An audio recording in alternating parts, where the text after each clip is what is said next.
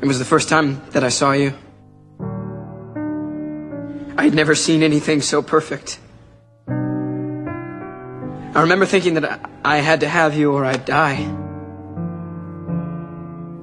Then you whispered that you loved me. And I felt so peaceful.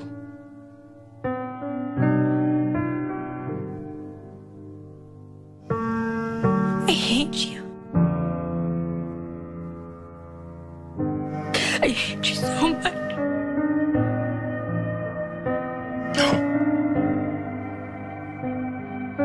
No, you don't. I should. I should hate you.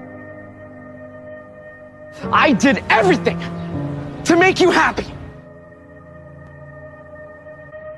You want to know what I'm scared of?